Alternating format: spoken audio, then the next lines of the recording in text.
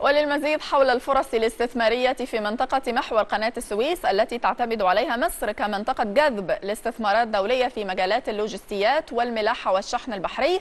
هنحاول التعرف عليها من ضيفنا اللي بينضم لهذه النشرة صوتا وصورة. كبير مرشدي هيئة قناة السويس القبطان هشام النعماني. أهلا بك قبطان نعماني لهذه النشرة بالطبع.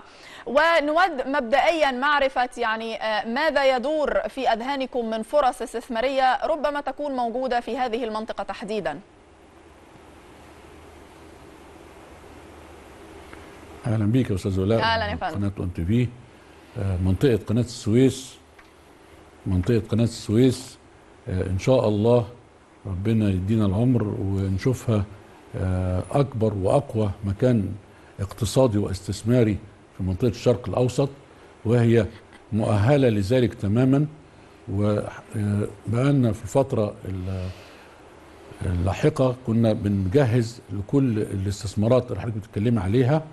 ال- الخطط اتعملت البنية التحتية جاهزة ال- قوانين الاستثمار الحمد لله في طريقها إلى الظهور بصفة نهائية. آه، موضوع تعويم الجنيه وده كان عقبة كبيرة كبيرة في تواجد المستثمرين والحمد لله ربنا أكرمنا بالقيادة ال- القوية الجريئة اللي استطاعت إنها تاخد هذا القرار اللي الدولة كانت في أشد الحاجة ليه من سنين طويلة.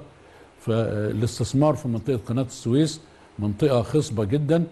المشاريع والأفكار فيها لا حدود لها. المنطقة مؤهلة وجاهزة.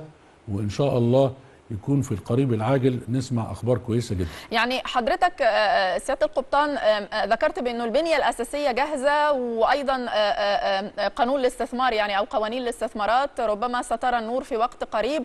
طيب نحن في انتظار ماذا؟ ونعلم أنه آه، يعني آه، الموانئ الست آه، الموجودة هناك ربما بتحتاج إلى آه، تطوير يعني هذا ما نعلمه بأنها مش جاهزة يعني أقصد أنه بشكل كامل.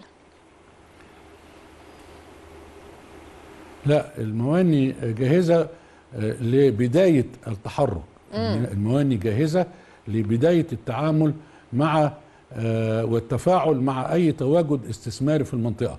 لكن اللي بيتم حاليا من تطوير ميناء شرق بورسعيد لاستيعاب الأحجام اللي إحنا متوقعينها إن شاء الله من الاستثمار الضخم في منطقة شرق بورسعيد آه، للمشاريع والأفكار اللوجستية من تجميع وإعادة آه، تصدير لبعض المنتج لبعض المنتجات وإقامة المشروعات المتواجدة هناك بالإضافة إلى آه، أفكار لوجستية لدعم آه، السفن أثناء عبورها قناة السويس. وده بيصم بيتم بصفة دائمة لأن رحلة قناة السويس لا تقل عن 10 ساعات حاليا بعد قناة السويس الجديدة وتعديل نظام الملاحة بالقناة. لكن آه، ب- بفكرة بسيطة للمستمع الكريم إن ال- السفينة ما بتوصلش على توقيت دخولها القفلة أو القناة تماما. السفينة بتوصل قبل موعد دخولها للقفلة لقناة السويس مش أقل من خمس لست لسبع ساعات ويمكن أكتر من كده في بعض الحالات وبتقف تنتظر في منطقة الانتظار سواء أمام بورسعيد أو أمام السويس. الوقت دوت للأسف وقت بيعتبر وقت مفقود للسفينة صحيح. فالمفروض إنها بتستفيد بأي شيء في هذا التوقيت من أهم الحاجات اللي ممكن تستفيد بيها وده اللي بيحصل في موانئ العالم وبيحصل جزئيا عندنا في مصر لكن أسف بدرجة بسيطة شوية وهو تموين السفن بالوقود والمياه والموضوع ده آه، موضوع ضخم شوية آه، آه، لازم تكون في شركات كبيرة آه، عملاقة وممكن يكون الدولة ليها تدخل أو دعم ليها. وفي شركات آه، آه، وطنية كانت بتقوم ولا زالت بتقوم لكن زي ما أنا ذكرت بمستوى بسيط جدا.